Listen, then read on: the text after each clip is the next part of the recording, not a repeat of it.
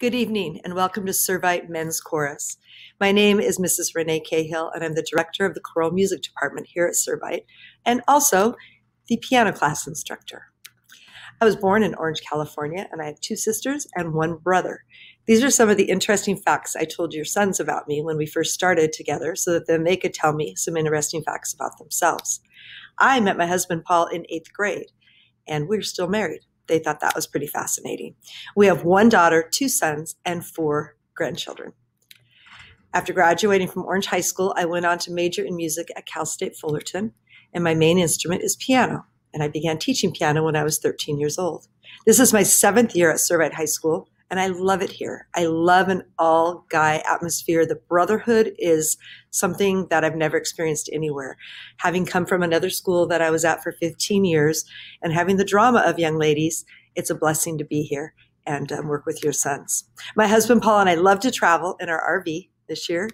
First time I saw a bear in the sequoias, and we love fishing in Mammoth Lake.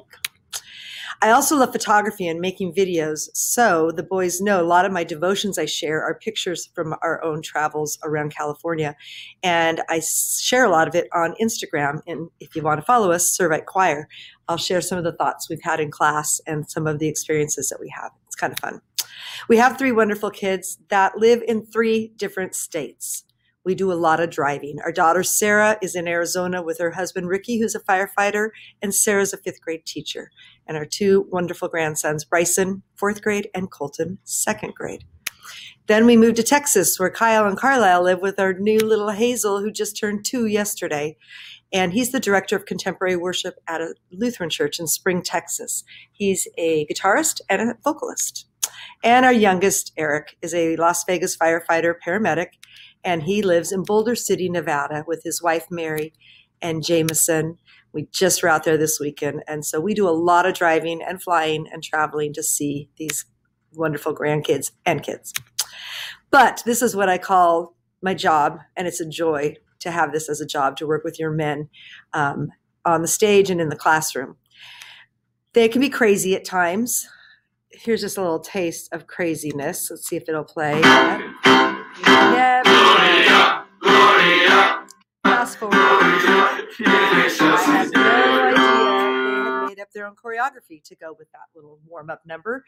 Whether they're on the stage, here was last year when we did a special uh, 9 11 tribute um, with a select choir singing in mass which to get all these men to have these many men in choir hopefully their voices are carrying out there in football games national anthems baseball games we are everywhere you can find us singing and um, sharing our gifts throughout the community here's at the mother's day of reflection over at christ cathedral this last year um, so it was, we had our Christmas concert, which was awesome, and I pray that we can have one this year. Um, it's an experience. This is a production. This isn't just a regular high school Christmas concert all the dads usually say afterwards that it was so different than they expected with lights and cameras and sound and backdrops and costumes. Um, we have a good time.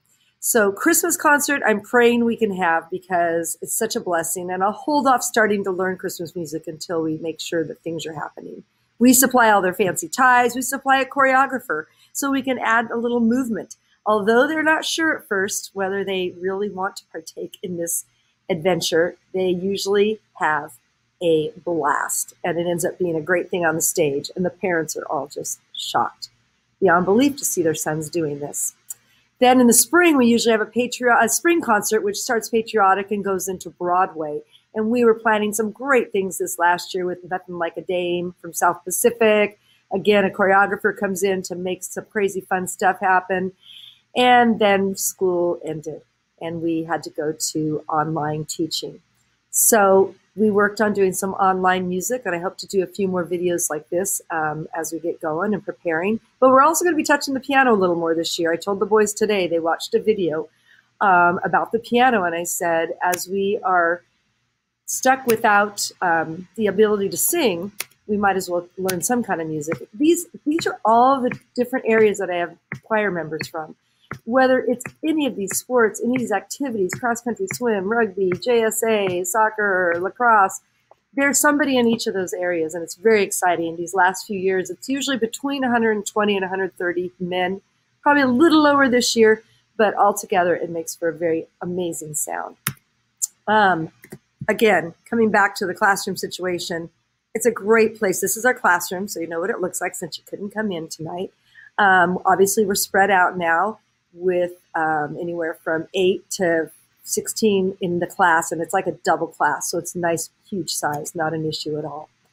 Um, we just keep praying that things will loosen up and we'll be able to, and people will stay healthy, and we'll be able to have a Christmas concert because that is a special thing you'll want to invite all your relatives to.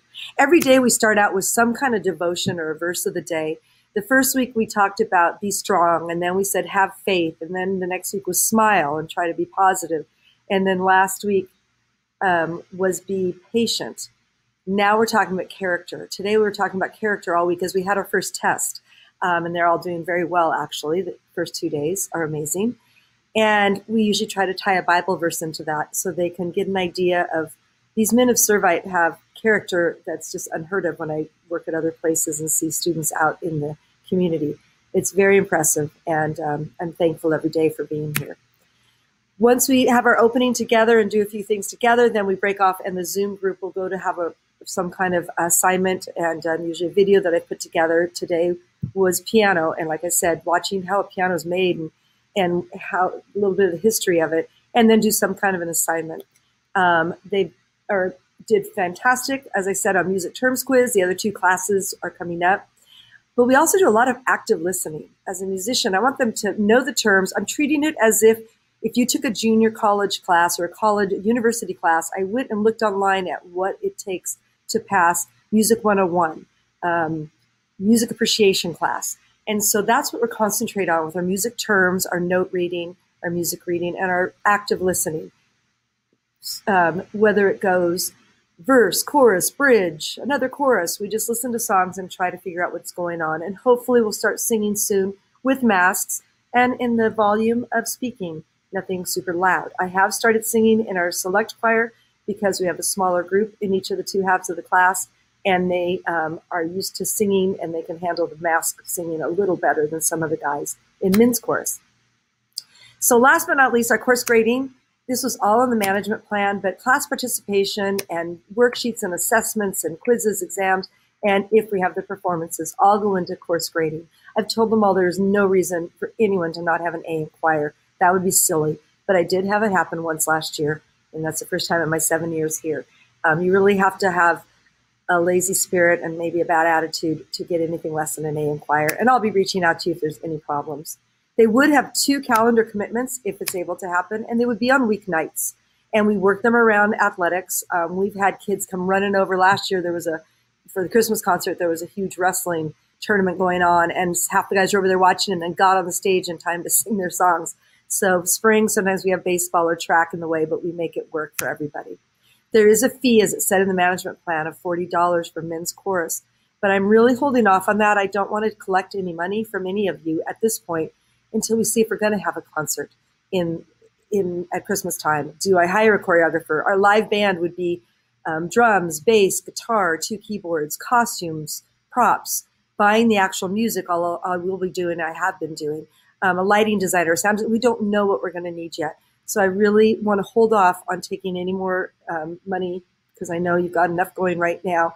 Just we're so glad they're here at Servite, and we will um, take a look at that as we go along a worst case scenario for the first semester, we could charge a small $5 entrance for the concert if we do have a concert, and that would help cover all the costs. So we're working on that. Please feel free to email me anytime at rcahill@servitehs.org.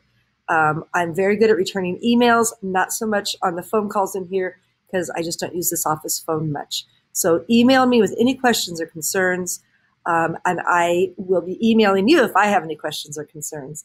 I am just thrilled to be working with your sons. I'm looking forward to a fantastic year and uh, blessings to you. Keep healthy, keep safe, and have a great week. Thanks.